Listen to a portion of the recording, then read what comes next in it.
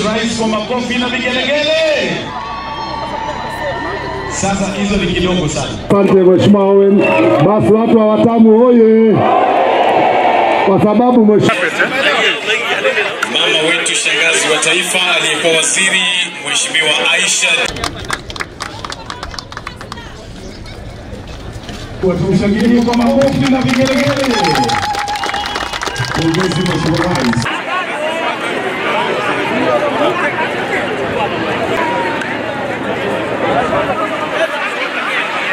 Wengine ambao wako hapa. Mheshimiwa esha ameongea, mmemwona. Mheshimiwa Rais, hata ni pia nianze. Tuko na PS pale, akina namwachia rais